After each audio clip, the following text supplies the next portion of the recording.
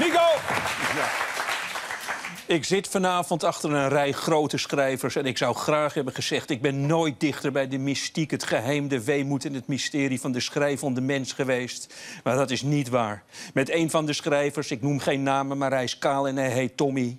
heb ik twaalf jaar geleden opgetreden op Terschelling. Ik zag toen voor het eerst hoe echte schrijvers met een veerboot reizen. Ik observeerde Tommy. Hij keek naar de horizon. Ik dacht, nu verzint hij een nieuw boek. We kwamen aan in de kroeg waar we zouden voorlezen... en daar besloot Tommy dat hij niet zou voorlezen... omdat er twee mensen nog voor hem zaten te fonduen. Ik leerde daar, literatuur en fondue gaan niet samen. Toch ben ik daarna nog dichter bij een schrijver gekomen. Ook al zag ik hem nooit. En ik heb het hier over Maarten Biesheuvel. Sinds ik in Leiden woonde, reed ik om mij te trainen in nederigheid... langs het schrijvershuisje van Maarten en zijn vrouw Eva. En daarbinnen, daar gebeurde het. Daar was het gebeurd, in een gierend hoofd... gevuld met duizenden verhalen, angst, verdriet en waanbeelden... waren er wonderschone verhalen uit de pols van Maarten gegleden. Maarten reisde net als Bram Vermeulen onafgebroken door een woestijn. Op zoek, steeds langer op zoek, naar een kort verhaal, een paar zinnen, naar troost. Ik leerde veel daar voor dat huisje. Daar woonden ze, Maarten en Eva. En nu is maandagavond Eva overleden. En op Twitter en op mijn telefoon werd binnen een half uur honderden keren dezelfde vraag gesteld. Hoe moet dat nou met Maarten? En dat ontroerde mij. Dat iedereen het begreep. Maarten was Eva, Eva was Maarten. Hoe moet dat nu met Maarten?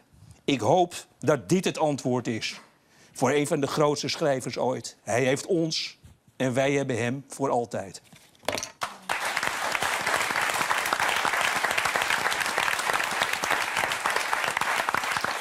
Uh, we hadden, Nico, uh, we wilden iets laten zien van Maarten en Eva Biesheuvel. Ze waren hier Ja, uh, helemaal een, maand geleden. Ja. Eh, oh, eh, de aanleiding was verhalen uit het gekkenhuis. hè, De laatste bundeling met een aantal nieuwe stukjes. Ontroerende brieven aan Eva van Maarten.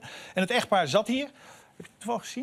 En, eh, een, van de, ja, een van de mooiste momenten van dit seizoen, vonden wij. Laten we even kijken, even een klein stukje. Mooi. Er is ook nog een hoop te leven, volgens mij. Hoe, hoe, wat, wat, wat, Nou, ik denk dat het best nog wel leuk kan worden hoor, misschien. Dat Ja? hoop ik wel. Ja, zeker. Dit was wel een heel moeilijk jaar. Ja. Ik werd ook steeds ziek, terwijl ik eigenlijk nooit griep heb of zo. Nu kreeg ik ineens bronchitis en, Ja. en, en een ziekte aan mijn mond. Maar dat is nu weer voorbij. Dat we hier mogen zijn, vind ik ontzettend leuk. Een soort nieuw begin. Ja, Ja? ja. misschien is het wel de laatste keer hier hoor, maar het is voor mij toch een beetje... Zullen we afspreken van niet? Oh, oh, oh, dat is ook goed. Ja, ja, ja, ja. Dankjewel, Nico. Dankjewel.